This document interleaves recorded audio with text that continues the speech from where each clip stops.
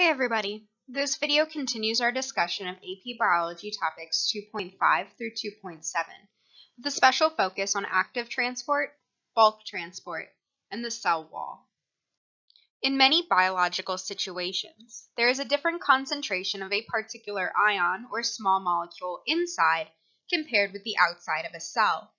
In these cases, the concentration imbalance is maintained by a protein in the cell membrane that moves the substance against its concentration gradient. This is called active transport, and because it is acting against the normal flow, it requires the expenditure of energy. Often, the energy source is the nucleotide adenosine triphosphate, or ATP for short. In eukaryotes, ATP is produced in the mitochondria and plastids, and it has chemical energy stored in its terminal phosphate bond.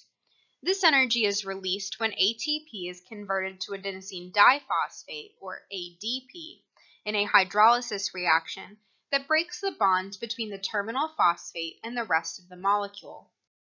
The differences between diffusion and active transport are summarized here. In many cases of simple and facilitated diffusion, ions or molecules can move down their concentration gradients in either direction across the cell membrane. In contrast, active transport is directional and moves a substance either into or out of a cell or organelle depending on the transport protein's function. As in facilitated diffusion, there is usually a specific carrier protein for each substance that is transported. There are two basic types of active transport.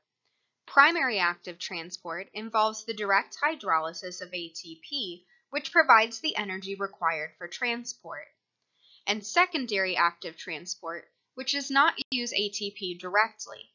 Instead, its energy is supplied by an ion concentration gradient, or an electrical gradient, established by prim primary active transport. This transport system uses the energy of ATP indirectly to set up the gradient. In primary active transport, Energy released by the hydrolysis of ATP drives the movement of specific ions against their concentration gradients. For example, the concentration of potassium ions inside of a cell is often much higher than the concentration in the fluid bathing the cell. However, the concentration of sodium ions is often much higher outside the cell. A protein in the cell membrane pumps sodium ions out of the cell and potassium ions into the cell against these concentration gradients, ensuring that the gradients are maintained. This is called the sodium-potassium pump and is an integral membrane glycoprotein that is found in all animal cells. It breaks down a molecule of ATP to ADP and a free phosphate ion and uses the released energy to bring down two potassium ions into the cell and export three sodium ions. In secondary active transport, the movement of a substance against its concentration gradient is accomplished using energy regained by letting ions move across the membrane down their concentration gradients. For example, once the sodium-potassium pump establishes a concentration gradient of sodium ions, the passive diffusion of some sodium ions back into the cell can provide the secondary active transport of glucose into the cell. This occurs when glucose is absorbed into the bloodstream from the digestive tract. Secondary active transport is usually accomplished by a single protein that moves both the ion and the actively transported molecule across the membrane. In some cases, the ion and the transported molecule move in opposite directions, whereas in others they move in the same direction, as for glucose and sodium ions in the digestive tract here. Secondary active transport aids in the uptake of amino acids and sugars, which are essential raw materials for cell maintenance and growth. So far, we have examined a number of passive and active ways by which ions and small molecules can enter and leave cells. But what about large molecules such as proteins? Many proteins are so large that they diffuse very slowly, and their bulk makes it difficult for them to pass through the phospholipid bilayer. It takes a completely different mechanism to move intact large molecules across the membrane. Macromolecules such as proteins, polysaccharides, and nucleic acids are simply too large and too charged or polar to pass through biological membranes. This is a fortunate property. Cellular integrity depends on containing these macromolecules in specific locations. However, cells must sometimes take up or secrete intact large molecules. This is done via vesicles, and the general term for the mechanisms by which cells secrete and take up large mo molecules or particles are exocytosis and endocytosis. Exocytosis is the process by which materials packaged in vesicles are secreted from the cell. When the vesicle membrane fuses with the cell membrane, an opening is made to the outside of the cell. The contents of the vesicle are released into the environment, and the vesicle membrane is smoothly incorporated into the cell membrane. In topic 2.1, we encountered exocytosis as the last step in the processing of material engulfed by phagocytosis, the release of digested materials back into the extracellular environment. Secreted proteins are also transported out of the cell via exocytosis.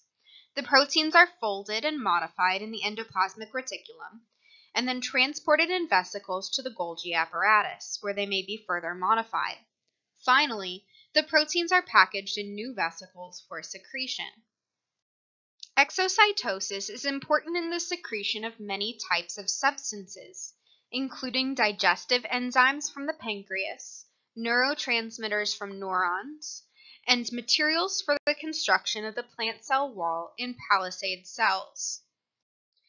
Endocytosis is a general term for a group of processes that brings small molecules, macromolecules, large particles, and even small cells into eukaryotic cells. The cell membrane invaginates or folds inwards, forming a small pocket around materials from the environment. The pocket deepens, forming a vesicle, and this vesicle separates from the cell membrane with its contents to the cell interior. There are three broad types of endocytosis phagocytosis, pinocytosis, and receptor endocytosis. In phagocytosis, also known as cellular eating, receptors in the cell membrane recognize a specific ligand on the surface of a large particle or even an entire cell. The binding of the ligand to the receptor causes the phagocytic cell to engulf the particle or other cell.